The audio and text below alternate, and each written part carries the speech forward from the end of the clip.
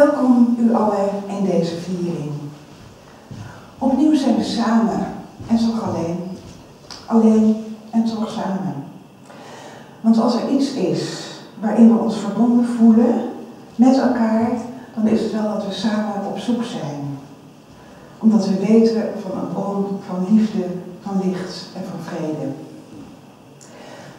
Niettemin blijft het natuurlijk toch een beetje vreemd op deze manier.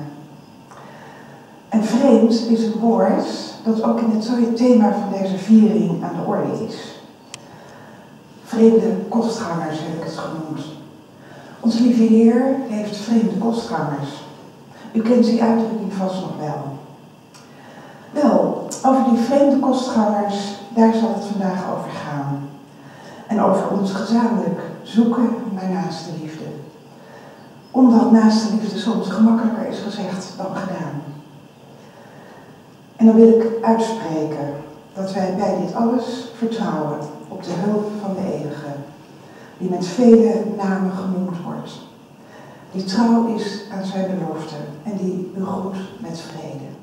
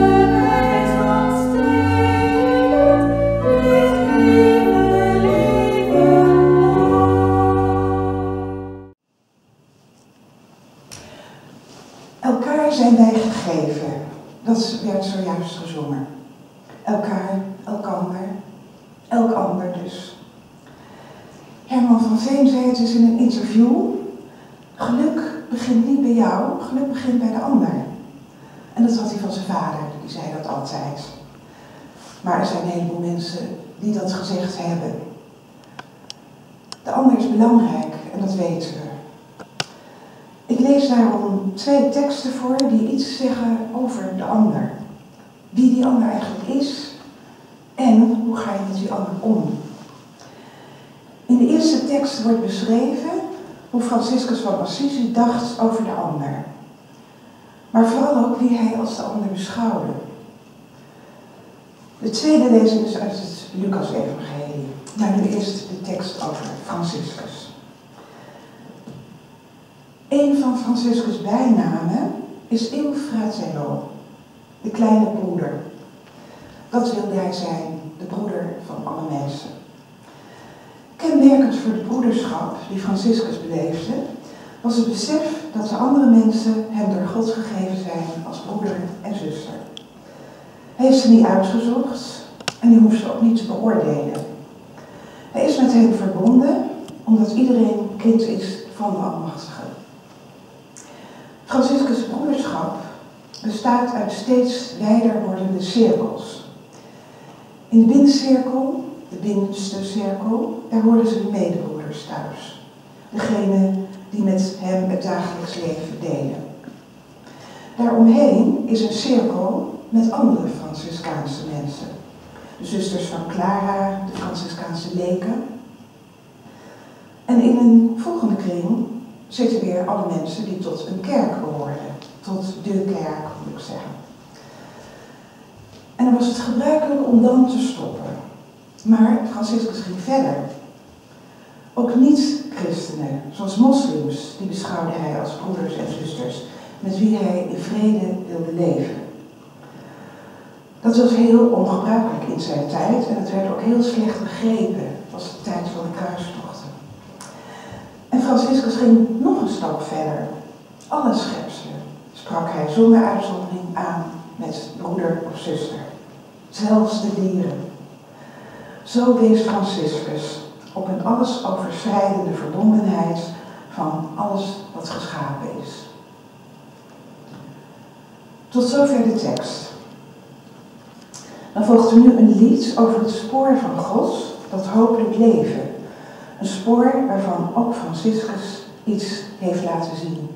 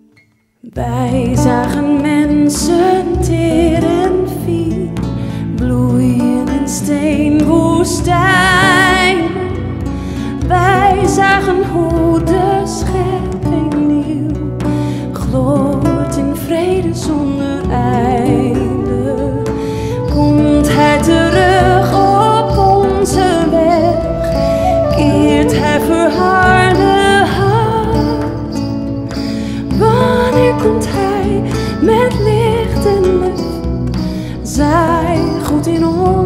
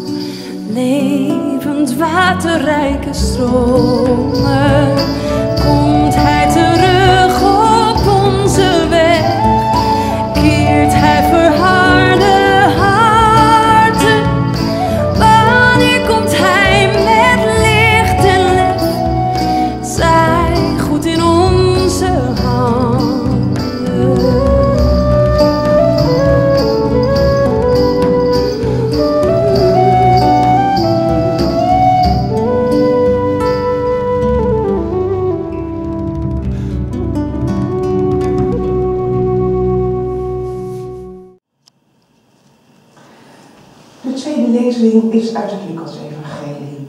En het gaat over een ontmoeting met Jezus en de tollenaar Zacchaeus. In die tijd ging Jezus Jericho binnen. Terwijl hij er doorheen trok, poogde een zekere Zacchaeus, hoofdambtenaar bij het tolwezen en een rijk man, te zien wie Jezus was. Maar hij slaagde er niet in vanwege de menigte, want hij was klein van gestalte. Om hem toch te zien, liep hij hard vooruit en klom in een wilde vijgenboom, omdat Jezus daar langs zou komen. Toen Jezus bij die plaats kwam, keek hij omhoog en zei tot hem, Zacchaeus, kom vlug naar beneden, want vandaag moet ik in uw huis te gast zijn. Zacchaeus kwam snel naar beneden en ontving hem vol blijdschap. Alle zagen dat en merkten morgens op. Hij is bij een zondaar zijn intrek gaan nemen. Maar Zacchaeus trad op de Heer toe en sprak: Heer, bij deze schenk ik de helft van mijn bezit aan de armen. En als iemand iets afgeperst heb, dan geef ik het hem vierdubbel terug. Jezus sprak tot hem: Vandaag is dit huis heel ten deel gevallen, want ook deze man is een zoon van Abraham. De mensenzoon is immers gekomen om te zoeken en om te redden wat verloren was. Longing for light, we wait in darkness. Longing for truth, we turn to you. Make us your own, your holy people, light for the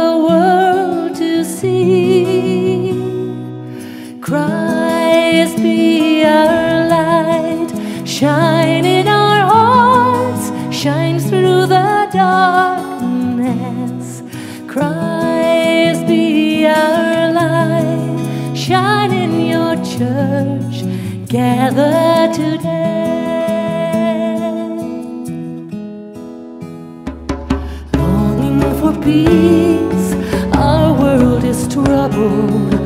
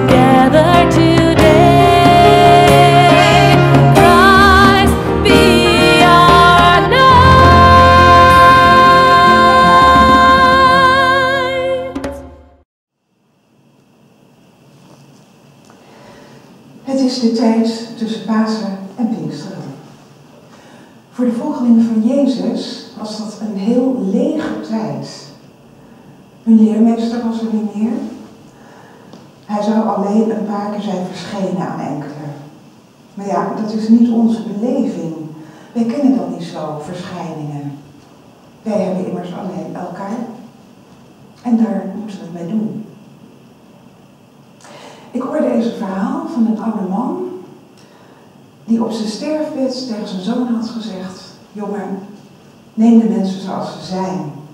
Er zijn geen anderen. Daar moet je inderdaad wel wat levenservaring voor hebben opgedaan om dat te ontdekken.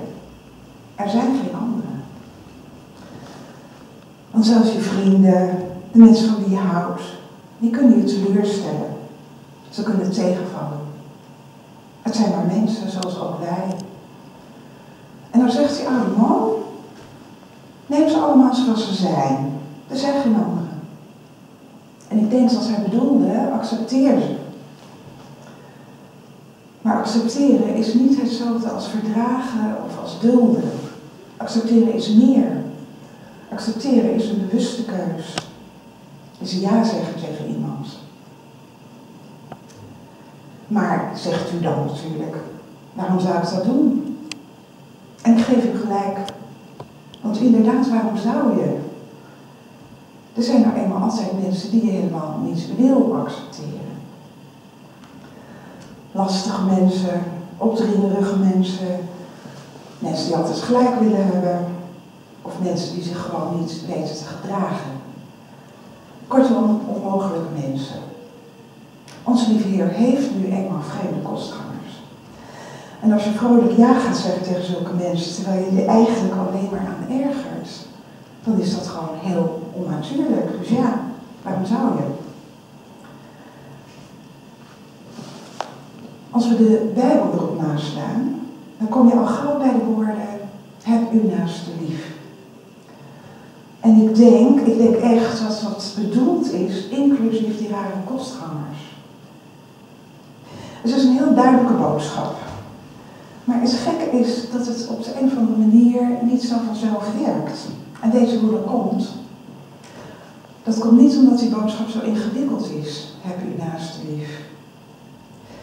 Maar omdat hij in al zijn eenvoud zo onnatuurlijk is. Die vreemde kostgangers liefhebben, dat druist in tegen alles wat wij mensen als natuurlijk en vanzelfsprekend beschouwen. Het is wel typerend voor Jezus. Want als er in de geschiedenis één iemand geweest is die de meest vreemde mensen accepteerde, dan was hij dat wel. Hij accepteerde mensen die door velen geminacht werden. De uitgestotenen, de onaanzienlijke. Juist die. En ik vraag me weer af, waarom? Want hij was toch ook maar een mens? Wat was zijn geheim? Wat wilde hij daar nou mee zeggen? Ik denk dat iets daarvan duidelijk wordt als je het verhaal van Zacchaeus leest. Voor die Jezus ontmoette, werd hij door iedereen uitgekotst. De meedogenloze tollenaar. Nou, u kunt zich er vast wel iets bij voorstellen. Maar aan het eind van het verhaal was Zacchaeus veranderd. En zette hij helemaal uit zichzelf als een fouten recht. En dat is gek, dat is vreemd. Wat was er dan gebeurd? Had Jezus hem overtuigd dat zijn leefwijze fout was? Dan zou Zacchaeus op grond van argumenten zijn leven hebben veranderd. Maar dat geloof ik niet. Mensen veranderen hun gedrag niet zomaar ineens als ze de les gelezen wordt. Dan moet je wel heel goed tegen kritiek kunnen. Nee, het kwam er iets heel anders. Het kwam doordat Jezus bij hen ging eten. En door dat te doen, door dat gebaar te maken, erkende hij Zacchaeus in zijn bestaan. Hij accepteerde absoluut niet het gedrag of de daden van Zacchaeus. Nee, hij ging er eten. En daarmee accepteerde hij hem. Meer niet. Heden moet ik in uw huis zijn. Heel onnatuurlijk eigenlijk. Maar het resultaat was verbluffend. Want na dat etentje heeft Zacchaeus het roer radicaal omgegooid. Hij was in een hele andere werkelijkheid terechtgekomen. Hij begon te leven. Kijk, op deze manier wilde Jezus zijn leerlingen laten zien dat er iets gebeurt als je werkelijk voor de ander bent. Die lastige ander, die alleen maar irritatie opwekt. Maar ook de onaanzienlijke ander, de ander die jou helemaal niks te bieden heeft. Ik was dus op een bruiloft waar een groot deel van het gezelschap bestond uit jonge en zelfbewuste studenten, ook pas afgestudeerden. We waren heel druk met elkaar aan het discussiëren. De gasten waren in afwachting van het bruidspaar en het was een vrolijke boel. Te midden van hen, ik zie het nog voor me, zat een oud dametje, een tante, die een beetje als een vreemde eend in de bijt daar zat. Ze kende die jongelui niet en ze was duidelijk ook helemaal niet interessant voor ze. Ze zat daar maar te scheiden met haar kopje koffie. Toen ineens keerde degene die naast haar zat en die eerder het hoogste woord was, die keerde zich opeens naar haar toe en die zei, u bent toch familie van de bruidegom? Ja, dat was ze. Ze heette Emma en ze was een tante. De welbespraakte jongen begon nu een heel gesprek met haar. En al snel hoorde ik hem vragen, dat zinnetje, ik hoor het nog steeds. Mag ik tante Emma zeggen? En ja, opeens straalde ze. Je zag haar opleven. Ze hoorde erbij. Ze werd in haar bestaan geaccepteerd. Het was geen voor de hand liggende actie van die jongen, maar wel een verrassend resultaat. Zowel voor de een als voor de ander. Er gebeurde wat. Nou is dit een heel eenvoudig voorbeeld en je zou zeggen, ach, uh, kleine moeite. Maar geldt dat nou wel in alle situaties? Geldt dat ook voor die vervelende colporteur die voor je deur staat? Of voor iemand die jou zijn politieke of zijn geloofsovertuiging wil opdringen? Dat wordt gewoon een stuk irritanter. Ik ga daarom nog even terug naar die zegswijze. Onze lieve Heer heeft rare kostgangers. Nou, nou dat klopt.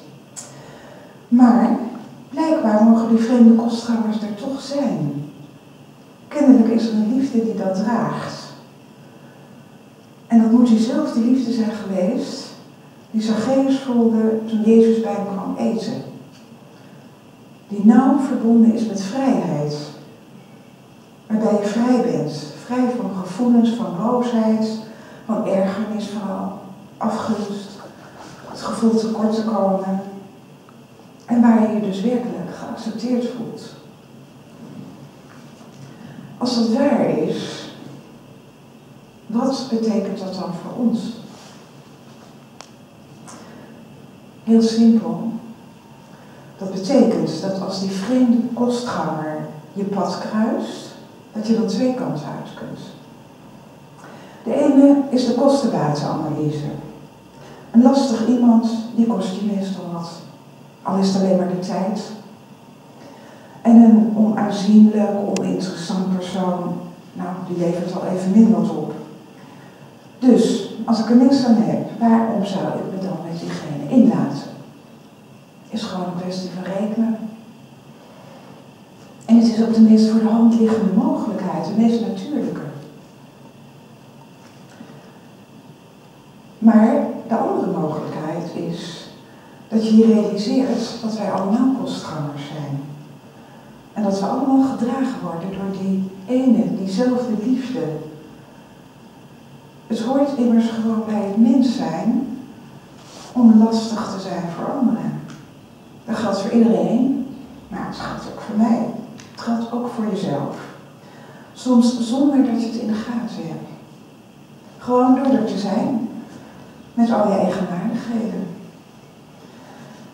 Als je je daarvan bewust wordt, dat niet alleen de ander lastig is voor jou, maar dat het ook omgekeerd geldt, dan kan er opeens iets van verwondering ontstaan. Dat wij er mogen zijn, dat we onszelf mogen zijn, ja, dat we onszelf moeten zijn, soms ten laste van de ander, maar met opdracht om er ook weer te zijn voor de ander. Alles gedragen door die ene onvoorwaardelijke liefde. De liefde die niet eist, die de ander erkent, maar nooit omdat het moet of omdat het fatsoenlijk is, maar alleen omdat er in vrijheid voor gekozen is. Want alleen zo verdwijnt ook de irritatie. Als je je gedwongen voelt door druk, bijvoorbeeld van de kerk, van de publieke opinie, de moraal, nou, dan werkt het echt niet. Maar op het moment dat je zegt, ik kies zelf, gewoon omdat ik het wil, kijk, dan ben je ook vrij. Dan is iemands hinderlijke gedrag of zijn arrogante mening, dat is dan geen ergernis meer, maar is gewoon een gegeven. Wel een gegeven waar je hebt. Accepteer de ander in zijn bestaan. En het kan haast niet anders of die ander voelt dat. En dan gebeurt het. Zacchaeus, ik kom bij je eten. Ik ben het helemaal niet met je eens, maar ik kom wel bij je eten. Dat betekent dat er nog van alles moet gebeuren. Er moet nog heel veel recht gedaan worden aan wat krom is. En dat betekent ook dat je het gedrag van die ander helemaal niet hoeft te accepteren, maar wel zijn bestaan. Want daar begint het mee. De ander accepteren in zijn bestaan, dat is het begin. En het begin kan je nooit overslaan. Zonder begin kom je niet verder. En dat geldt voor elk conflict. Ook voor alle escalerende oorlog die er op het moment overal in de wereld is. Ten slotte, de ander, de mens in wie we teleurgesteld zijn, die is onze kans. Blijkbaar mag hij er zijn van de grote gastheer. Mag hij het nou ook van ons, van u, van mij? Want er is er maar één die uitmaakt of die ander een beetje in vrede mag leven. Of dat hij genegeerd wordt of afgesnauwd. En die ene, ja, dat ben ze en dat ben ik. En die ander, die is ook maar een mens. Die net als iedereen soms zijn karretje diep door de modder moet trekken. Zo zullen er kansen zijn, ook in de week die voor ons ligt. We zullen anderen tegenkomen. Ja, het is zo. We hebben alleen elkaar, de mensen. En nee, er zijn geen anderen. Want de verschijningen van Jezus tussen Pasen en Pinksteren, dat kennen wij zo niet. Of, ja, misschien toch. Want diezelfde Jezus, die tegen Zacchaeus zei, ik kom naar je huis. Ik kom bij je eten. Die heeft ook gezegd, alles wat je voor een ander doet, juist voor die minste ander, dat heb je voor mij gedaan. Daarom zou je eigenlijk elke ander die je tegenkomt met eerbied tegemoet moeten treden. Want de ontmoeting met hem of haar kan een ontmoeting met Christus zijn. En zo kan hij verschijnen, net als toen tussen Pasen en Pinksteren. En ook nu en na Pinksteren. Hij kan verschijnen in elke ander die je tegenkomt. Ook als die ander de harmonie in je leven komt verstoren. Juist dan keer je niet van hem af, maar doe zoals Jezus het eens in een enkele zin heeft samengevat. Geef hem die van u vraagt. En wie van u lenen wil, wijs hem niet af. Amen.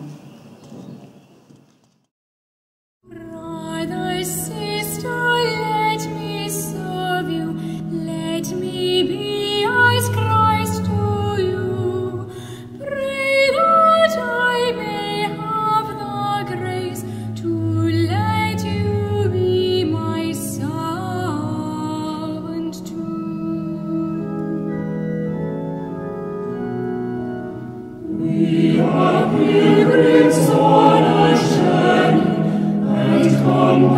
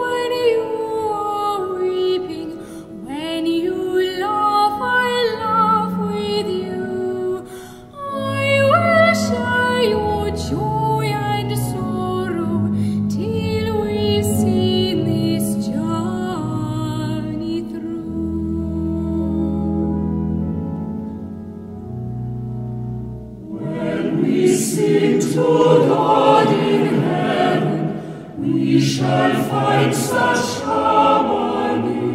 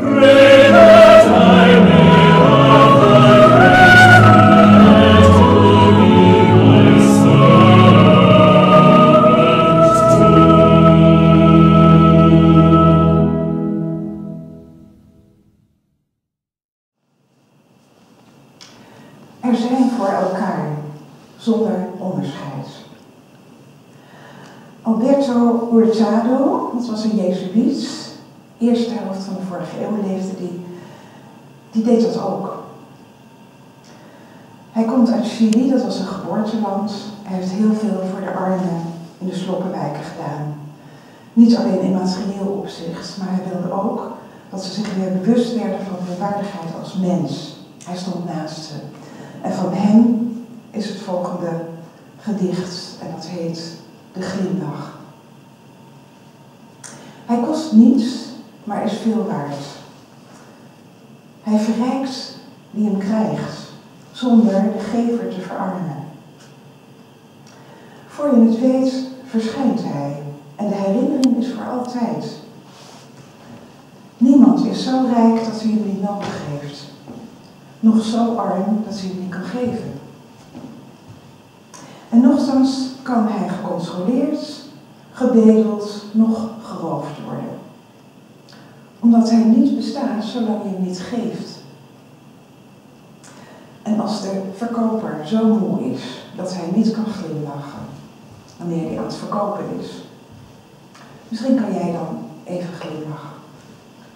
Want niemand heeft zo'n nood aan een glimlach als diegene die er geen heeft om aan anderen te geven.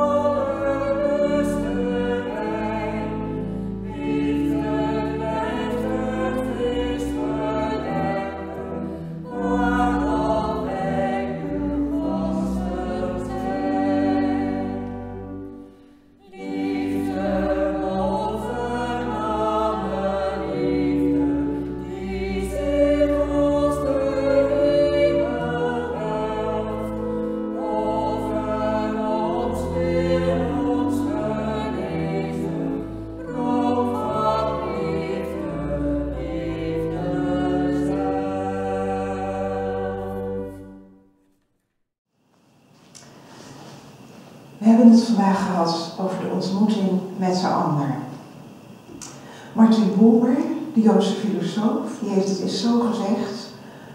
De ontmoeting van mens tot mens is echte leven. En in ieder ander mens kan men een glimp opvangen van de eeuwige. Laten we dan nu deze viering besluiten en verder gaan op ons levenspad. Met ook de zegen van die ene. De vrede van de eeuwige,